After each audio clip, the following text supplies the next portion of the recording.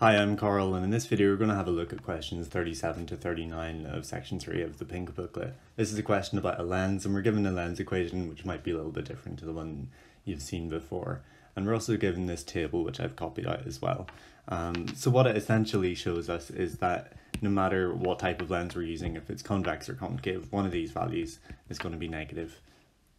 Okay, so question 37 says the focal length of a biconvex lens that has a curvature radii of 60 centimeters on both sides. So let's write down what that tells us.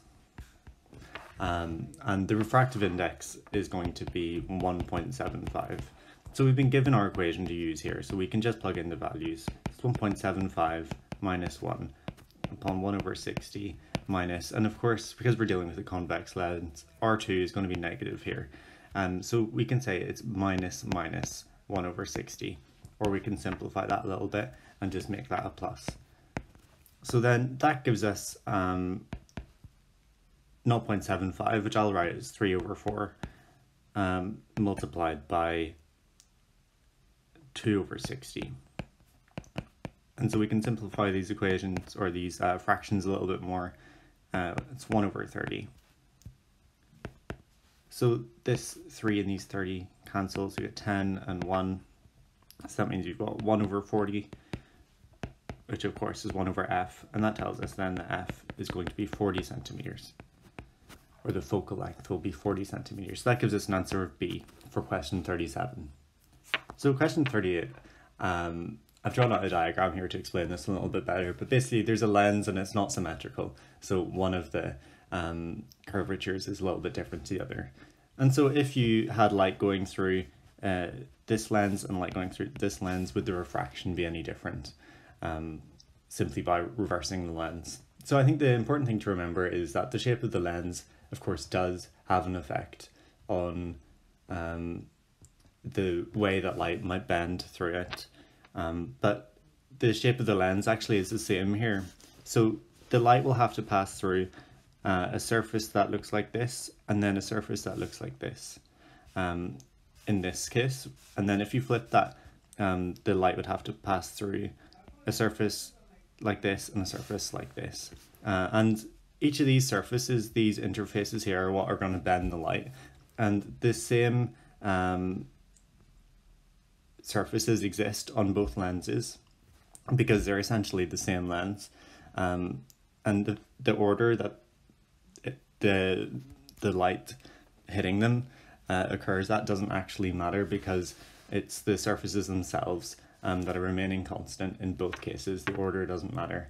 And so the refraction of the light would actually be the same. So answer C here says there would be no change, the lens would reflect refract the light in the same way. So that's the answer for this one. Because the the light still has to make the same sort of journey. Um, doesn't matter what order um, it's going through the lenses at. Okay, so then question 39. Uh, it says, consider a symmetrical biconvex lens that has a focal length as long as the radius of the curvature. What is the refractive index? Okay, so that actually tells us quite a lot of information. So let's draw our equation again so we know what we're dealing with. We've got n minus 1 upon 1 over r1 minus 1 over r2. So we're told here that the focal length is as long as its radius of curvature. So that means f equals r1 equals r2. So then we could just replace all of this with one letter and we'll just call it x and then we'll solve for n at the end.